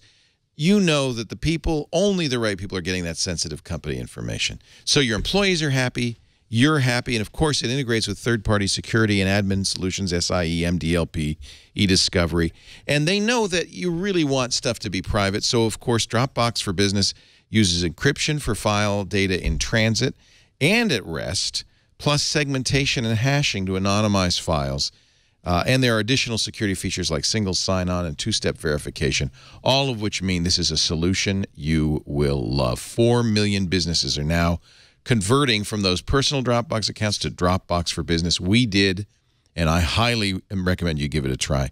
Take advantage of what your employees already know and love. They, they love Dropbox. Who doesn't? Sign up for Dropbox for Business. Dropbox.com slash twit for a free 14-day trial. Dropbox for Business. Dropbox.com slash twit. We thank them uh, so much for their support. So um, what is the name of this? I want this camera. Jump. Jump. It's the jump, yeah. You just got to jump. Um, they should have David Lee Roth come out and sing. Oh go I'm just please saying. no. no, at least at the after party. In a, you know, a He can't even jump chaps. himself anymore, for goodness sake. You gotta jump. jump, everybody. So um, this is 16 GoPro. Well, they're going to, first of all, they're going to publish a model for this uh, so that anybody can, uh, uh, open source plans, right? So anybody can build this. Uh, there are Dropboxes will sell one, which I figured if you got 16 Dropboxes, we're talking six or seven grand. I mean, uh, what did I say? Dropbox, GoPro, obviously, six or seven grand. Um, but you know, that's not a lot. Well, no, and they said you can actually build the array for it. But I'm gonna of build one. cardboard. They Yeah. did it. You know, I, I mean, was talking- cardboard obsessed, but they, you know they do love it. and It's, it's cheap. awesome. And YouTube supports it, Mm-hmm. right? So you'll be able to record these videos. You'll even be able to do it live. So here's my pledge to you. As soon as we can, we're going to build one of these suckers and we're going to put it in the studio so that you can wear your Gear VR, your cardboard. Uh, I don't think it's how most people will watch the show, but you might watch live that way. If you can look around, it'll be like being in, in the studio, except without the great free prizes. So, but other... Well, also means the bottle of whis- whiskey I've got stashed down there is going to show up. So no, it's, I really this is some this is just coolness, funness that I don't see any value to Google for, but uh, maybe this is the next big thing on YouTube. I think don't there is a, a considerable amount of value for it because they can use the stuff like this for both virtual reality and augmented reality systems. They don't have to tie themselves to one platform. Ah. And with the VR goggles coming out, uh, So it's not next eh, Oculus year, Rift AR doesn't own the market anymore. No, right? I mean, well, that, Mm. Google, I don't think is interested. Isn't interested in owning the market. What it is interesting is providing the content for it, Right. and making it other people Right. and hosting that content, so that YouTube gets even more hits and more and more more business. I've been skeptical on VR, but I have to say, the idea that you could, especially for live, that you could be, say, at the Academy Awards and look Mm. around and see, oh, that's George. I'm sitting next to George Clooney, and that would be When pretty in- cool. when I was in Italy, there was a guy who had uh, an Oculus, and they had a, a film of Cirque du Soleil, and it was as, it was as though you were sitting on the front of the stage, and so you could turn to your left and right and see other performers in the show who were talking to you or gesturing towards you while you were watching the show. It was incredibly powerful. Mm, I mean, people would pay money to do that. We were talking. I think we'll believe probably partner with our our neighbors here, Pixel Corps, Alex Lindsay's group. But I was talking with the Pixel Corps folks, and they said, "Here's what we want to do: plays, fictional plays." So uh, this is actually a big trend in Broadway, like Tina and Tony's Wedding, where you're in an immersive environment, or you're going through a house, And it's all around you, and It's all around you. You could do this with VR, and as I, they have to fix it so that you can tune the audio so that when you look at somebody, you hear them Mhm. louder than those people. But you could be immersed, surrounded by actors improving or doing a script, and you could look around. It'd be like being in the middle of MASH or something. It'd be so cool. Yeah. Is And I it the Diamond Age? Is it? Say again. Yeah, is it's it's Neal Stephenson's The Diamond Age, Yes. where um yeah, where there's there Yeah. are actors that are there, yeah, yes. yeah, yeah, yeah. That's that's my first thought. And Yeah. frankly, anything that moves us closer to Neal Stevens, uh, Stephenson's universe, I'm I'm all in. It's always good. I- Mostly. Yeah. I, I'm a cynic about this. I think the first two applications to drive it are going to be computer gaming and porn. Um, gaming Oh, because sure. people will spend that amount, and then when the cost level comes down, the porn industry is going to get into it. Oculus said it's going to be fifteen hundred dollars it for the co- gaming computer you'd have to have plus the Rift when Yeah. it's available. That's next an year. excellent price point. That's not bad if you're a serious gamer. Nothing. Um, right? Nobody spends money like the gamers. You Yeah. know, I mean, they are hardcore about having the best rigs, the best. Yeah, I, yeah, I see there's a gamer in the back. Chris, but would you you would want? Yeah, Chris has my Oculus Rift. I gave him the developer uh, edition. So that's I think that I'm a believer now in that. I was big. I was saying no augmented reality is where it's at, but I think there are immersive. There are places where an immersive experience would be great. I do think I think augmented is going to be much more broadly Yeah. um, sort of desirable. I think there's going to be there may be people like me who I can't watch a lot of Oculus Rift without feeling Me too. motion sickness. Yep. Um, particularly things that are moving quickly. Mm-hmm. Um, so that's going to reduce probably my desire to do it. But but AR for sure. Like I would buy Google glasses that would tell me all the things that are around me as I'm wandering around a new city for sure. Well, that's the thing. You can wander around in an, in an AR rig, whereas you can't wander around in, Right, in a virtual exactly. reality No, rig. it's very it's stationary, and I think there are two And let's face it, you have a ski mask on your applications. face. yes. Right? Yeah, like you're exactly. not going to it go looks anywhere ridiculous. with a ski mask it on your absolutely ridic- looks ridiculous. But again, there are there are useful applications. I think actually a big sort of unexplored one is teaching and remote remote learning. Mm-hmm. Definitely. Where I mean, you look at how colleges are getting more and more expensive, and you look at the sheer number of online classes being available. Just imagine someone putting one of these rigs, you know, in the back of their classroom or even in the middle of their classroom, and then all of a surgery. sudden. Yeah. Imagine oh my medical, gosh. you know, training. Oh you yeah, could but be in a, an I just read an article. Uh, uh, it was on Sophos or one of the security blogs about apparently the telesurgery software they're using is hackable. A man in the middle, you could do a man in the middle attack and take over a surgery. This scares me a little bit. Should scare you a lot. I don't know how widespread telesurgery is, but let's lock that down, shall we? Yeah, particularly where vasectomies are involved. yeah. Google also has Project Soli. This was uh, interesting. Um, this was the it was this was like radar or something that sees. So they showed as an example, you can turn your fingers like you're twisting a knob, and an actual virtual knob will twist. Did you play with this, uh, Jason? Jason Howell was at Google I/O. Yeah, I did. Did it do what? Did it kind of live up to the promise? I would say, I mean, you know, based on the examples that they had set up on the floor, it was interesting. It was hard to get a sense of how accurate things were when I was playing around with it. But I mean, it was obvious that it was doing what it what it promised in the sense that, you know, things moved when you were moving your fingers, and Well, this you would could kind go- of and this do would go different along with motions and create right? a wave and stuff. So Well, yeah, even for out. scrolling. Yeah. You know, even for swiping, like Minority Report style. Right. You know, swiping through pages that you're looking at on a heads-up display. Yeah, I mean the demo was really, really impressive, but Google's really good at doing impressive demos, Yeah. and particularly the app. They are, yeah. I mean, Oh, I no would- question. Yeah, I mean, it's just they were talking about the you know their their their Tango mobile phone, and it's been going. They've been talking about it for two years now, and show me the damn hardware. Yeah. I mean, this looked great, but show me working in a consumer sense that my mother can use. I'm sold. Until then, we'll see. Yeah. I actually saw an article about the guy who developed the um, the UI uh, in Minority Report, and also did some consulting for Iron Man, the sort of you know heads up display screens moving around. Um, he's designing real interfaces now, uh, so presumably we'll see lots of that type of stuff come to Seems market. exhausting. I'm going to like this all day. I don't want to do that. All day. Yeah, wanna, that's why I like the I like Google because you just do a little thing like that. Well, I wonder. I, I wonder how much or how little gestures will, especially frontwards gestures. I have to mm-hmm. wonder if it's not necessarily maybe something that like a glove or something where you put mm. on with your hands, where you can have them in your lap and you just you know it's almost like you're mm-hmm. typing, but I instead want you're like flip. no. Do you flap. remember Bewitched? I want to go. Mm-hmm. Oh, my nose. Just with your nose? I could use that for the Apple Watch, honestly. Yeah. There have been times where I'm like, I want to scroll this, but I do not want. Yeah. I don't want to use a secondary hand. Yeah. And I can't just say Siri scroll. Well, Google showed off the, with the Android Wear thing. They showed uh, wrist movement where you go where you flick Yeah. your wrist like that. And you Yeah, flick I have down. you can do that Yeah. on the One of, Urbane. one of our readers came in Yeah. and said, "I've been trying this, and my wrist has- hasn't been this sore since I was a teenager." Ah, well, don't do it a lot. Oh boy. It's not that hard. You can just go like that. It's not. You don't have to like make a big jerk out of yourself. It's just. um, this is uh, the Urbane. All the LG watches got 5.1.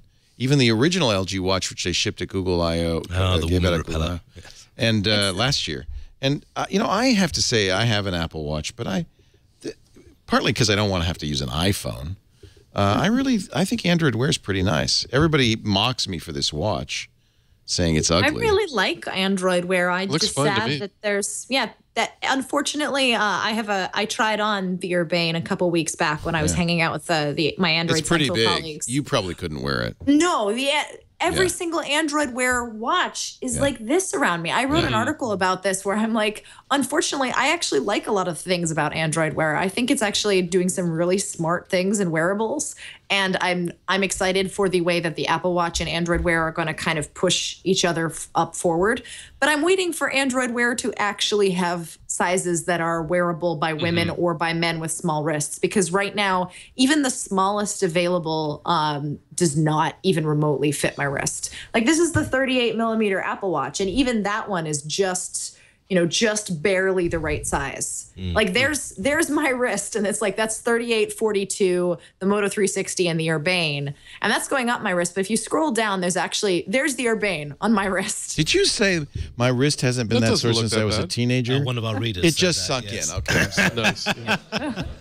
I'm sorry. doesn't I'm look that very slow. Too much of a clean That took me like eight minutes to get that joke. But I, I can sympathise with you, Serenity. I've got fairly slim wrists as well, and I tried that original LG, and it was just like it was like having a brick on your wrist. I just think it's the about time computer industry recognized that most of its users are overweight, and uh, it's you know screw you thin people. I'm still not sold on the smartwatch as a mass consumer item, but they they they are, they are No, they're not a mass consumer item. Although Apple seems to be selling thirty thousand a week, which Well, makes it yeah, a pretty I mean- good consumer item. Yeah, but once the fanboys run out of cash and the people ta- people who are taking a slightly more reasonable approach in this look at it and go, "Sold Yeah. that for a game of Soldiers," then you're going to How get, many Apple watches in the know. audience? Two. Okay, how many other smartwatches? How many other smartwatches? Two. Ah, How many people are not wearing a watch at all? Most. And then one guy's got a Timex. Or is that a fancy watch there? It's pretty. It's a fancy watch. He like saw how he looked at it. He doesn't want to get rip- robbed by the guy behind him. Uh,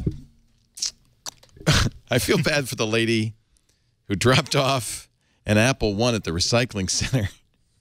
A two hundred thousand dollar Apple One at the recycling center. They're looking for you. Yeah, but all That- credit Good to for them. her They were for honest recycling. about it. that uh, that that article makes me really sad though uh, because it from the from the sounds of it she dropped it off because her husband died prematurely She and had she no just idea. wanted to she that wanted to excavate Yeah. the th- I mean I I can totally see you know I could see my, like if God forbid my father died I could see my mother just being like nope it's all going away because I don't want to look at it because it's going to hurt too much and I don't think she actually you know she probably didn't even think about it it was just like oh these were his things these were the things that you know he loved and I I just can't look at it right now. Well, a serious kudos to Clean Bay Bay Area because they mm-hmm. found it and sold it for two hundred thousand dollars. It's not some made up number. They actually sold it to a collector for two hundred thousand dollars. They want to give her a check for half. Uh, which is actually, I think, very generous. I think Finders, it's keepers, incredibly losers, generous. Very much, reapers. yeah. I mean, you think all it took was one empl- one rogue employee to say, "Oh, right, Yeah. okay, no, that's obviously Yeah. useless. I'll Yeah. take that away." And oh, I'm off to the Bahamas for the next two weeks. Yeah, exactly. Very honest of them. More power to them. pat on the back to Clean Bay Area. And if you ever want to give away, you know, something that's really, really valuable, just give it to them and they'll sell it and send you half. Um, I'm sure we have an Apple One in the basement somewhere. We have everything else. Do we, John? No. Come on. Don't give up. We can You make sold one. it already. We got so we have so many old junky things there. I still can't bear to throw away my old ZX81, even though it's That's a great computer. Did It you is. build it yourself? No, as a child? no, no. I'm, I'm, I'm ashamed to say that we bought the we bought the pre-made version. Ah. But ZX81 was so many people's introduction. It to was a kit, right? Originally, or Uh, no? You could buy it over here as a kit. Yeah. In the UK, they sold it as a as a base unit because Timex sold it over Timex here. here, sold here. It Was Acorn? was it uh, or Uh, no, that was the BBC model micro. Yeah. No, this was uh, Sinclair. Industries. Sinclair? That's right. And he had this, Sinclair, right? Yeah, he had this idea that oh, you don't need anything like a, a- an instruction manual. Just give them a book of Basic. People want to learn how to program in Basic, and we were forced to. So you know, it's um, That was that was a great computer. I'm jealous that you had one, and I'd love to have one uh, if you ever. it's in a storage unit back at home at the moment. If you die, tell your wife, bring it here, and uh, I'll take it. Uh huh. okay. Yeah, we have some boxes. Um, yeah, look at that, manufactured in Scotland. Yeah, That makes it really worst great. keyboard I've ever used. Well, it was just a membrane, right? It was, Yeah. you know, and without the 16k battery pack, uh, RAM pack, a very limited use. But it was, yeah, 50. They sold a million and a half. It was 50 quid. You know, you That's how many iWatches are sold every month. Yeah. I mean, it was 50, 50 pounds. You couldn't buy a Chromebook for that these Yeah. days. But uh, as I say, you did have to learn BASIC to use it. So mixed blessing. You stored stuff via an external tape cassette tape. Ah, yeah. You try and tell young people today that you used to do Kids fiddle around with the today. tone control, but trying to get the program on board. That's what it sounded like. Made piracy really easy, apparently. I mean, sometimes you never did Mm. I've it heard. myself. Yeah. Yes, wouldn't know. 1981. So yeah, that's I, I got my first computer a couple of years before that, but I remember when these came out. These were really awesome. I had an Atari 1040. Oh, good bit yeah, of kit. I had Atari 400 as my first computer, membrane keyboard also. I got tired of banging on that, so I got the 800, which had a real keyboard. you know what kids? To, so okay, that's Kids what today. that kids today have. Little bits. Look at this. I am so jealous. Kids today, you got it made. Little Bits uh, makes these incredibly easy to use electronics kits with modular building blocks. You can get uh, your dog to text or make a robotic snack server.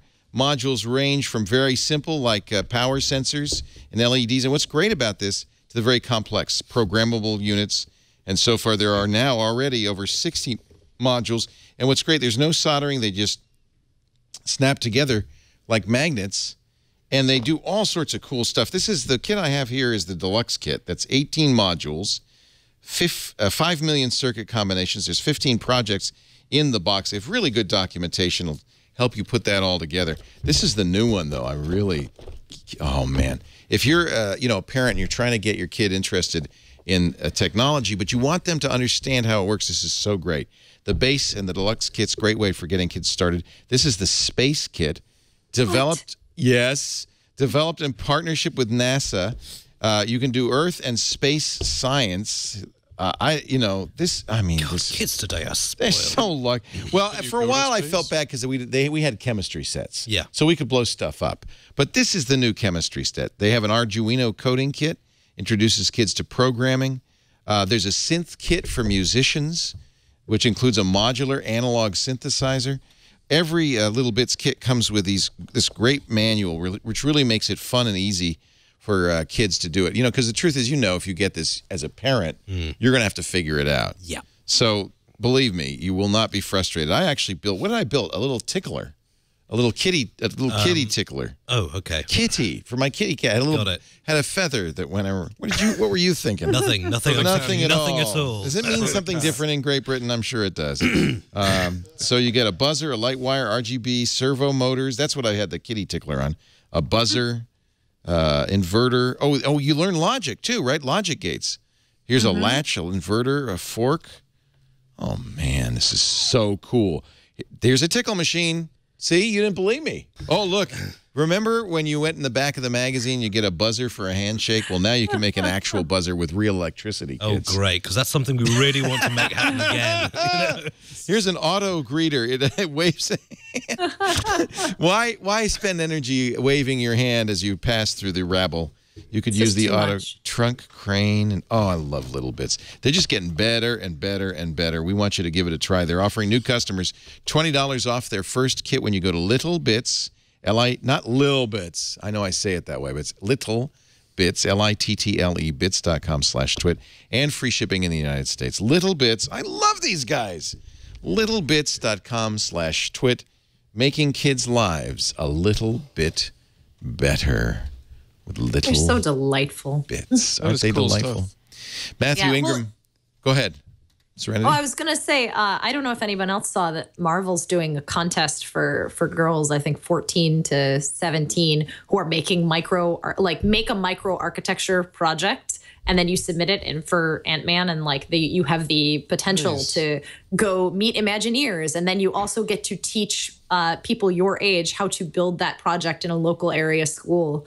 And I was just thinking about that. I'm like, that would actually be a really good pairing. It's like get get your kid a Yeah. little bit set, and then you know see if they want to do this contest. It's just it's, I don't know. It's, I, I think that it's really really cool that we're encouraging kids and and young girls to do I to agree. do micro Definitely. micro building. I'm, s- I'm starting to get bullish on this idea that maybe there will actually be women involved in technology in the in someday, in some distant future, there'll actually be women involved in this. And you know, we're making such an effort at this point; they might even be in the majority. And is is there any person at all who thinks that's a bad idea? That's a great idea. Sold on that. The 1st I'm s- software programmer was a woman, Grace Hopper. Yeah. Mm-hmm. Yeah, the, the history Susan of IT Kare? is littered with great women. Susan Kare, we love Susan. Mm-hmm. She's great. Did the icons for the original Mac.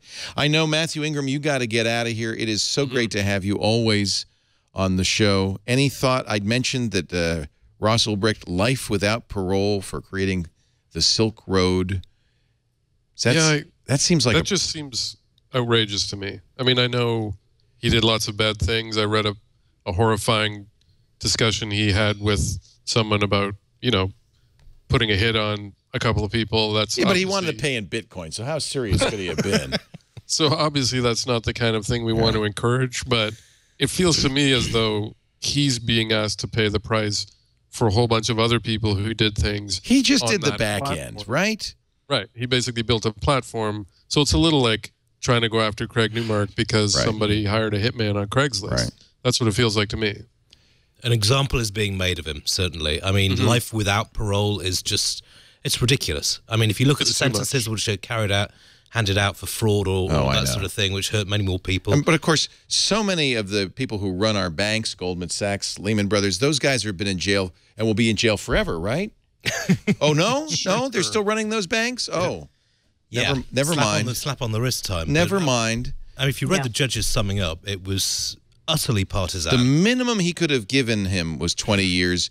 Uh, there were 197 letters in his behalf from friends and family saying, "Give him. We understand he's going to serve time. He's going to do 20 years. Give him the minimum." They gave him instead life without parole uh, and a 184 million dollar fine. I think you know, working for cigarettes, it's going to be a little hard for him to pay that off. Uh, it's going to be very hard, and he's going to be a very, very old man when he gets out. That's and I sad. think for, for the actual crime that he committed, I said yes, a crime, out of- but yeah. way out of Yeah, proportion. way out of proportion. Mathew, thank you so much for being here. Great. Thanks for Love having, having me. you on Always fortune.com. He's Mathew I on the Twitter. and he is uh, he is always just a, a, a beacon of sensible, common sense of intelligence. It's always nice to have you on. We'll see you soon. Great. Thanks, Thanks. to uh, Iain Thomson, who is actually quite the opposite. He's uh, acidic, acid-tongued. Uh, no, I love Ian too. You, you fun to read, always smart. Thank you. You'll find him at register.co.uk. And uh, I'm glad you've been coming up here a lot. I appreciate it. I No, you. no, it's always good fun. I'm Love just down the road, here. so yeah. fair enough. Love having you here. And if and when you that when that when you pass away in that Sinclair, you could always you know we'll give you. Yeah, there's a couple of people you might have to fight Oh. for it, but hey, we can put it on, you know, live fight. Here's the prize. Here's a thing of wrestling oil. Go for it. You Do know, I have to say ZX though? Do I have to? I'm sorry. If you're going to own a British computer, you got to talk British. It's just the way it is. It's the rules. I can talk British, governor. Thank you also to sorry about that. Thank you also to uh, the great Serenity Caldwell. Yes, yes, I know she uh, does do roller derby, but she's also a brilliant writer, and uh, you can catch her work at imore.com. She's the one who discovered that the Apple Watch doesn't work uh, if you have a sleeve with a tattoo. So It, it works. It just doesn't work for very specific tattoos. you can't do the heart rate. Yeah, well, Right. I my boyfriend has a has a sleeve and it works fine. It's Oh. just it's it's dark solid colors. Got so it. if you have if you have black right here, it's not going to work. When's But your next? Uh, else is fine. when you when's your next derby match?